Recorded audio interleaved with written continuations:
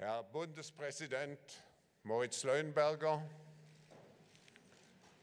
Frau Dr. Angela Merkel, Bundeskanzlerin der Bundesrepublik Deutschland,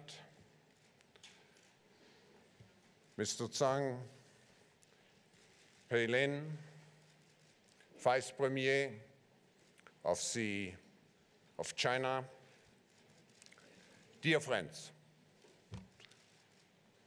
a cordial welcome to the 36th annual meeting ich eröffne das 36. jährliche Treffen des Weltwirtschaftsforums hier in Davos. Wir sind ein wirkliches globales Dorf.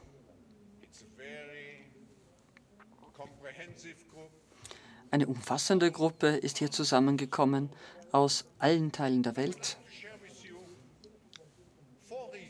Ich möchte Ihnen vier Gründe dafür angeben, warum wir hier sind.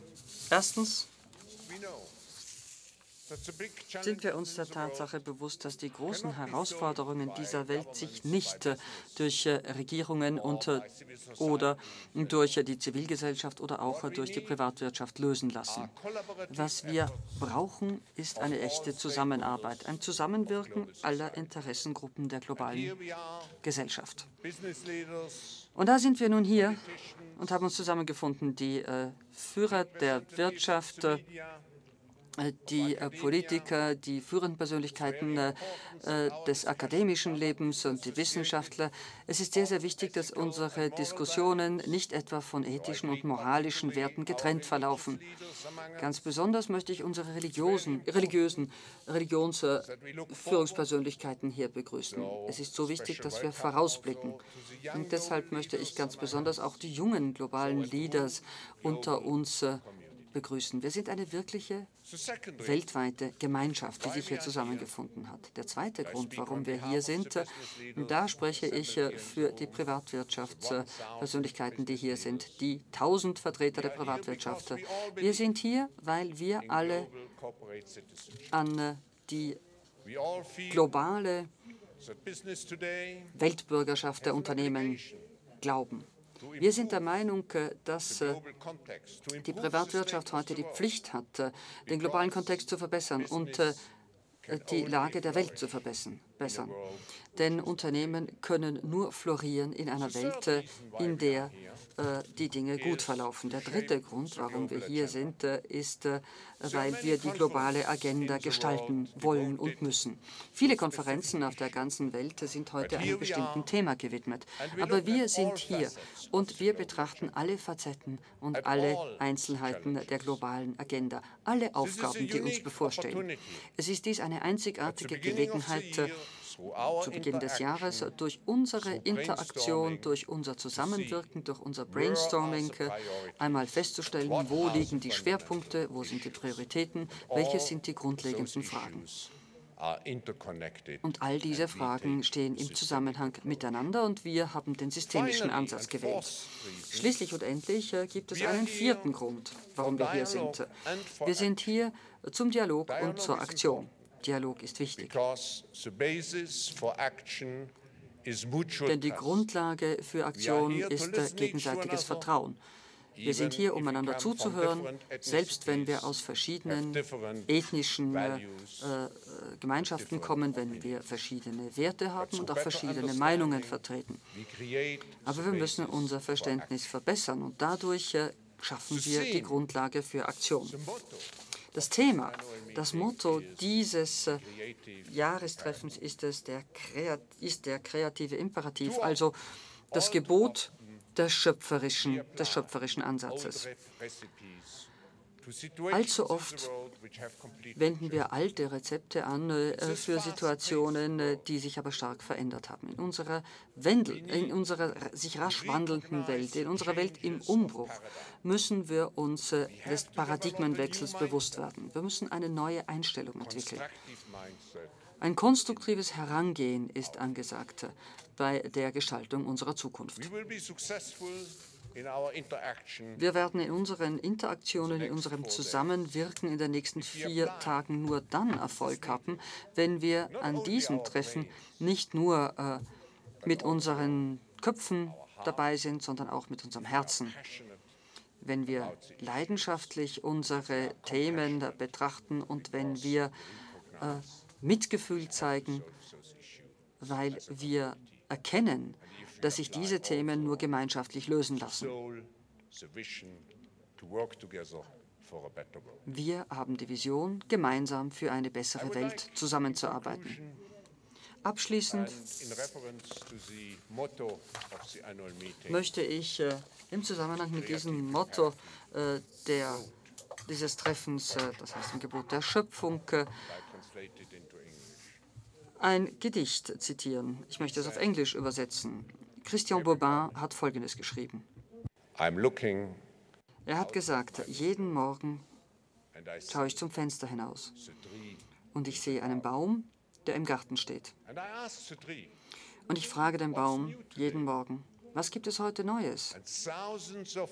Und tausende Blätter antworten mit einer Stimme, alles.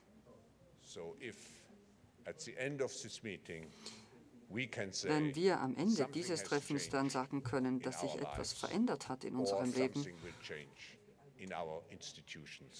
oder dass sich etwas verändern wird in unseren Institutionen, dann haben wir unser Ziel erreicht. Ich habe jetzt die große Freude und Ehre, den Schweizer Bundespräsidenten, Herrn Leuenberger, zu bitten, uns im Namen des Gastgeberlandes zu begrüßen ich möchte diese Gelegenheit benutzen, um unseren Schweizer Freunden vom Bund, vom Kanton Graubünden und von der Landschaft Davos recht herzlich zu danken für die großartige Gastfreundschaft und für die vielseitigen Anstrengungen, um uns hier unser Leben zu so angenehm, so gastfreundschaftlich und so sicher zu gestalten wie möglich.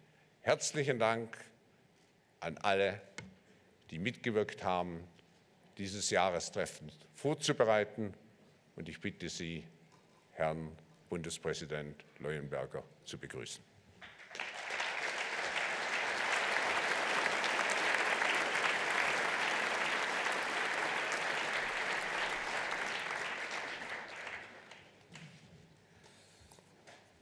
Sehr geehrte Frau Bundeskanzlerin, lieber Herr Schwab, meine sehr verehrten Damen und Herren, was die Anrede aller übrigen wichtigen Vertreter aus dieser Welt betrifft, schließe ich mich vollumfänglich der Anrede von Herrn Schwab an. Meine Damen und Herren, willkommen in Davos.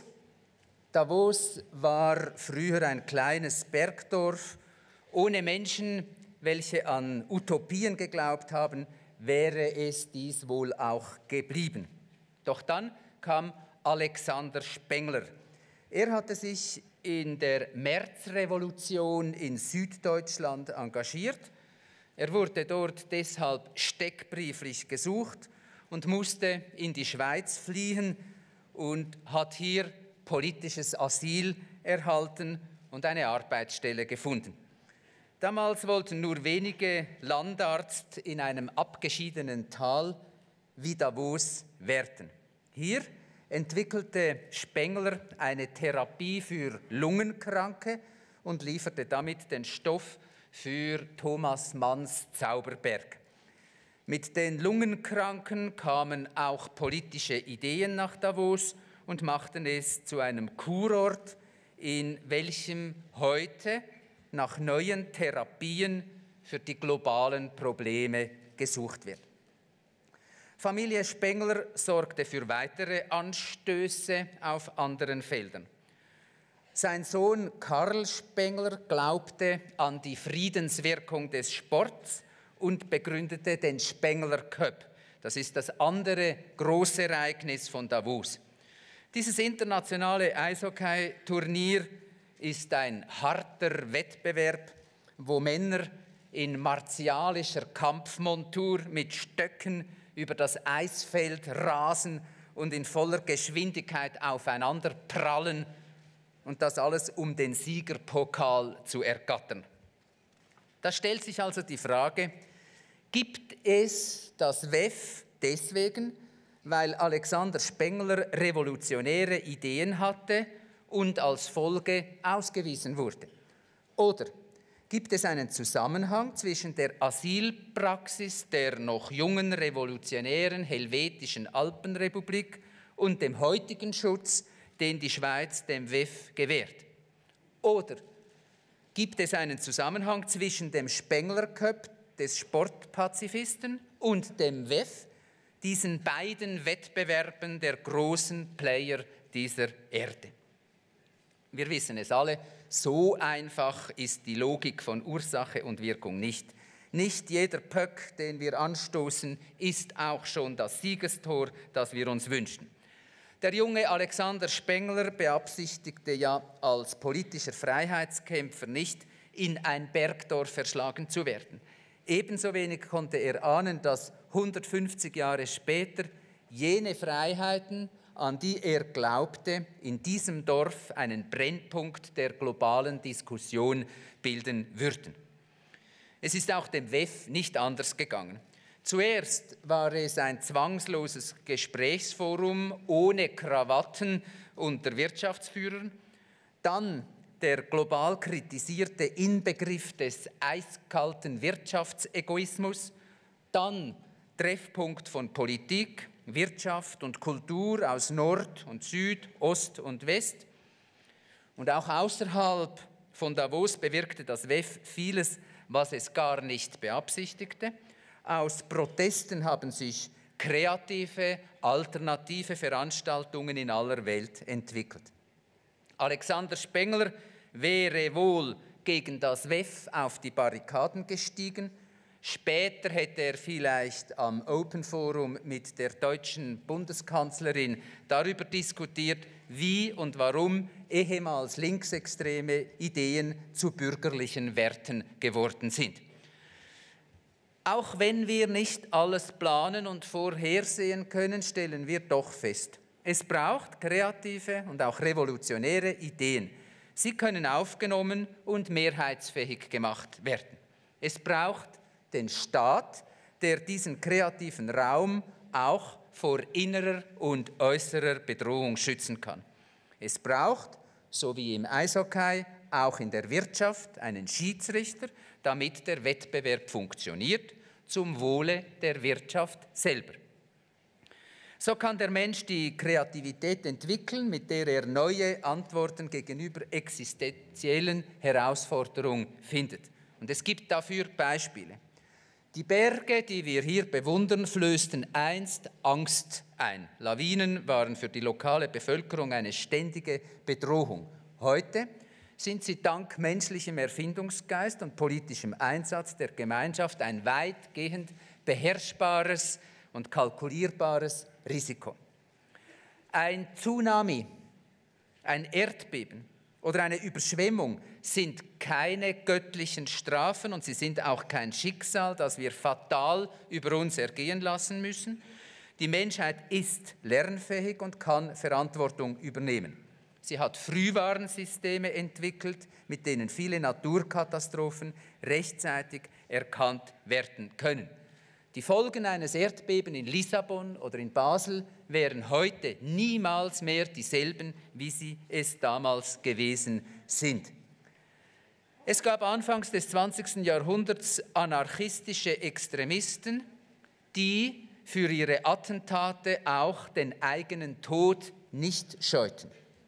Ihre Ideen wurden in einem langen politischen Prozess der Nährboden entzogen, in dem sozialer Ausgleich und Chancengleichheit geschaffen wurde. Für diesen politischen Prozess braucht es allerdings organisierte Gemeinwesen mit funktionierenden Institutionen und politischem Willen. Und das braucht es auch heute noch. Die Probleme dieser Welt rufen nach kreativen Lösungen. Manche glauben, Im Wettstreit der Ideen bilden sich die besten Lösungen ganz von selber mit der berühmten unsichtbaren Hand der Marktwirtschaft. Doch damit sich die Kreativität entfalten kann und damit sie Wirkung zeigen kann, braucht es eben auch Rahmenbedingungen. Und die kann der Wettbewerb selber nicht schaffen. Hungrige Menschen können nicht kreativ sein. Sie verwenden all ihre Energien auf ihr eigenes Überleben und darum braucht es soziale Netze. Unterdrückte Menschen können nicht kreativ sein und darum muss der Staat die Meinungsfreiheit und den Rechtsstaat garantieren und pflegen.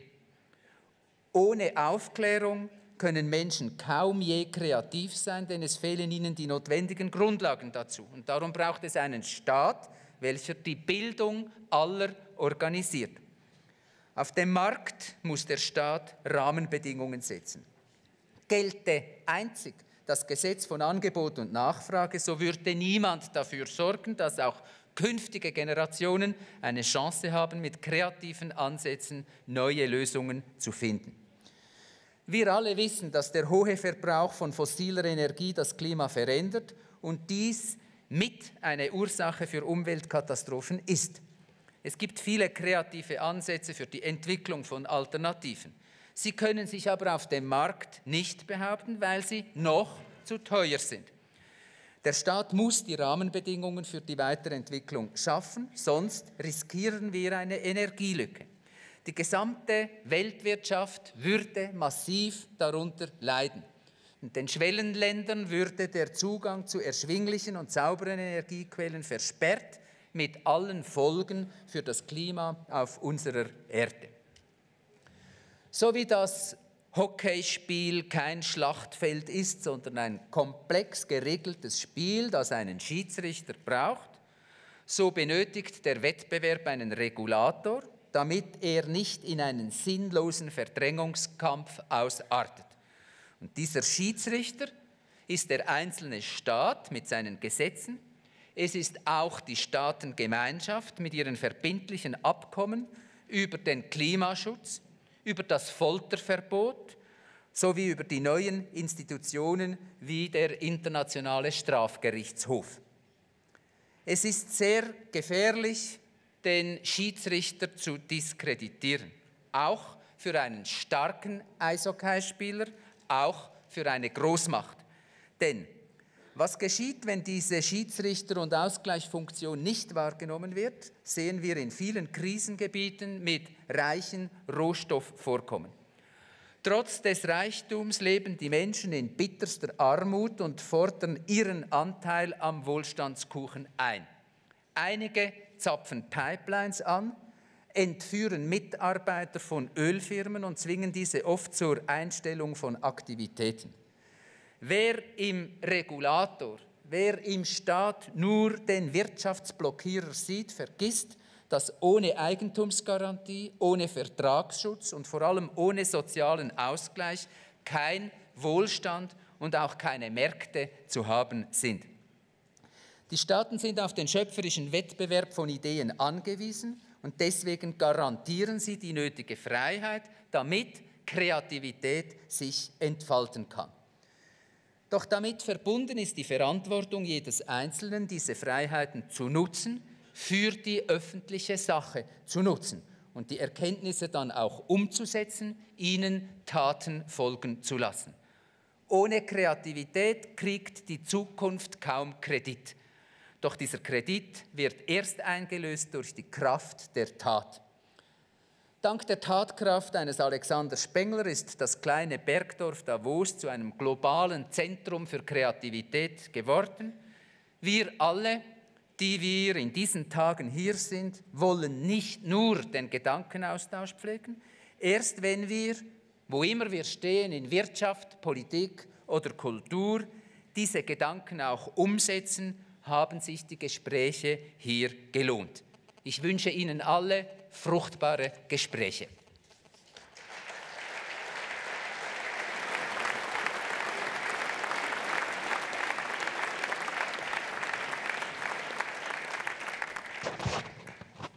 Herzlichen Dank, Herr Bundespräsident Leuenberger.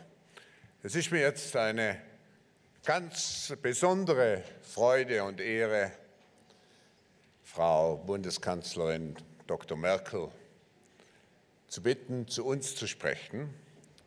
Frau Bundeskanzlerin, Sie sind ja nicht das erste Mal in Davos und ich darf mit einer gewissen Genugtuung sagen, dass bereits 1993, als Sie ganz junge Ministerin im Kabinett von Bundeskanzler Kohl waren, kurz nach der Wiedervereinigung, dass wir Sie damals zum Young Global Leader for Tomorrow ernannten. Und jetzt sind Sie ein Global Leader of Today.